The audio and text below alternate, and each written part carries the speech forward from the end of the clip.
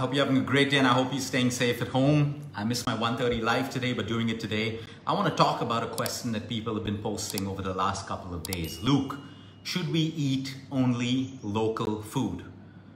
Okay, there are mixed reviews around whether we should just eat local food or whether we can eat other foods that may not be local to the country that you live in or to the geography that you live in. Okay, now local is important we need to support our farmers, our geography, our soil, and of course, foods grow according to climates that suit you, that suit your skin, your hair, your genes, your immune system according to the weather. We know that there are crops that grow during winter, during summer, and all of that. So yes, local is important. My message to you today is stop putting yourself into a box of only local. Okay? Because if you have a disease or you have a condition, is your disease or your condition local? No. Cancer is not a local disease, nor is cardiovascular, Alzheimer's, Parkinson's, and anything. So if you get benefits, if you get certain benefits in foods that may not be local to you, but may be good for your condition, why will you not eat it? And because you put yourself into this box, and then as we put ourselves into boxes and extremes, it slowly, unconsciously becomes our identity. And then we want to defend it, we want to fight for it, we want to do all of that stuff. But we miss out on the simple, beautiful gifts of nature that may occur and grow in different countries, but can be available in your own country today. And that one food product will have something that can help you with your condition. So my whole point is, yes, local is important, but it is not everything. Let me give you a simple example. Whether they're kiwis, which today are medically documented as a fruit that has the ability to help you with DNA repair. So if you're going through chemotherapy, you're going through radiation, okay, are you still going to put yourself into a box and say, oh, I want to eat a kiwi because it is not local?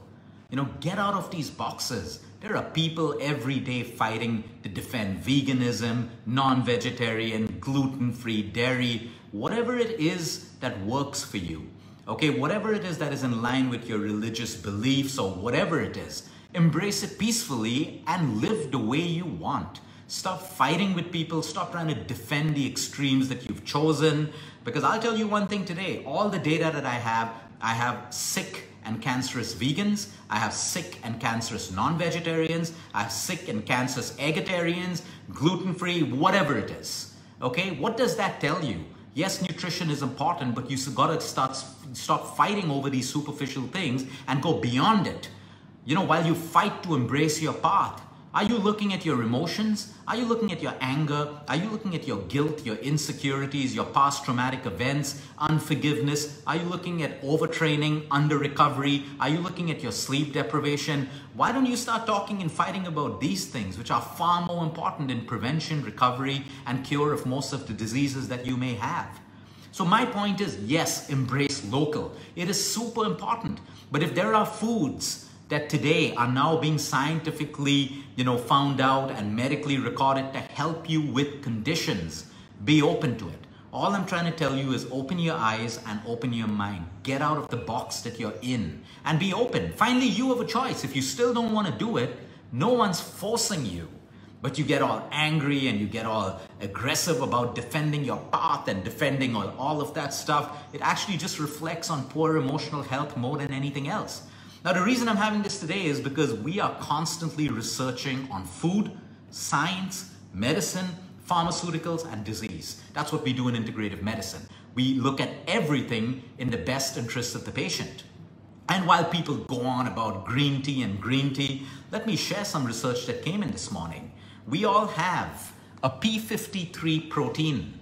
A P53 protein is termed today medically and scientifically as an anti cancer protein because of its ability to help us repair DNA at a cellular level, create cell apoptosis, which is cell death, recognize and destroy cancerous cells. And today we have solid medical, pharmaceutical, and scientific research which is coming in to show us that the EGCG, which is a powerful antioxidant in green tea, has the ability to increase the amount of P53 in our bodies. Now, why will we not want to do that? Especially when we're living in countries and places where pollution is at its highest, pesticides and food, stress, sleep deprivation, everything that cancer cells need as the perfect environment to thrive.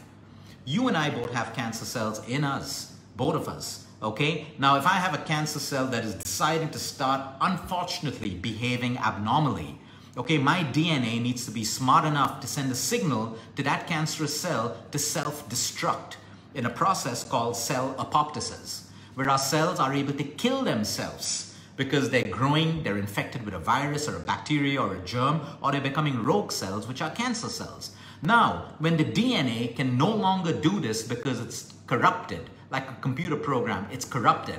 And look at this beautiful research. Almost 50% more, or 50% of cancers or more have mutations in P53, which means we don't even have the ability for that protein to defend us anymore. So now, where's your argument of local? Okay, if you are sick and you need antioxidants in foods that are medically recorded, scientifically recorded, why will you not use it? But because you've built this false identity of being strict and putting yourself into a box, which is nothing but ego and pride, you deprive yourself of simple foods that can actually help you. Now, it's a different thing if you don't like green tea. No one's telling you not to drink it. The debate of whether green or black is better is a useless debate because both of them are equally good for equally different uh, aspects. Black tea has stuff that green tea doesn't have, and green tea has stuff that black tea doesn't have. So you cannot debate which is better. Today have green tea, tomorrow have black tea. Get diversity in your diet.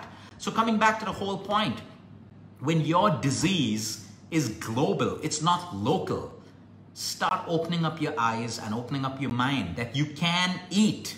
Now, make sure your diet is probably 100% local, but if you need foods that can help you with your condition, be open to that as well. Don't put yourself into a box. No one's stopping you from eating local. Stop defending it and stop fighting for it. The whole world today is global in a way. We can get anything and everything. Now, if you make your diet, if you're in India and you make your diet 100% international, now that's that's craziness. That's that's stupidity because you need to eat local to suit your own body temperature, uh, your uh, connection with nature, the place that you live in, and all of these things. It has that connection. The third best part of this Pharmaceuticals today are now studying green tea to see how they can mimic EGCG from green tea in their cancer drugs. So, are you going to start asking your doctor every time they give you a medicine, oh, are the ingredients local or are they international in your medicine? No, right? Most probably you will shut your mouth and you take your medicine quietly. The whole point is you should understand in pharmaceuticals and in most medicines, there is a percentage of natural herbs and plants and leaves, even in your chemical pharmaceutical drugs. So, my whole point open up your eyes. You don't want to have it, don't have it, but don't put yourself into a box. Understand that nature is diverse. Disease is multifactorial. It needs a multifactorial approach. There are so many mechanisms in disease, but you put yourself into a box and you try to be rigid with it and you don't get the results that you look at.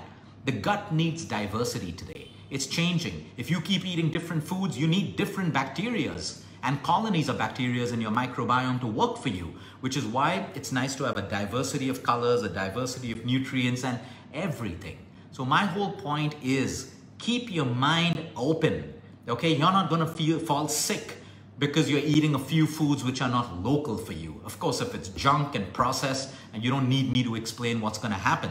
My whole point is do it the right way. But everyone is putting themselves into a box, listening to what society tells you and getting into a box. And you can't see out of that box to see what exists around you that can help you. And we should be grateful. In fact, we should be grateful that we can have foods that never existed in our country come here to our country so we can utilize. And people abroad are grateful that Indian foods are now available in their country. But over here, we only fight to hold on to our identities and fight with one another who's the best, who's doing what. And most people who even go on fighting about local, believe me, they're not local. In other aspects of their life, absolutely not. So my point is keep your eyes open, Keep your mind open.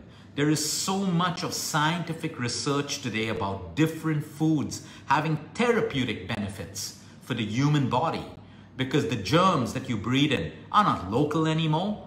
Okay, you know that from COVID, from where from wherever it came, whether it's China or we'll never know, or maybe we'll know someday. You have a global pandemic in your country.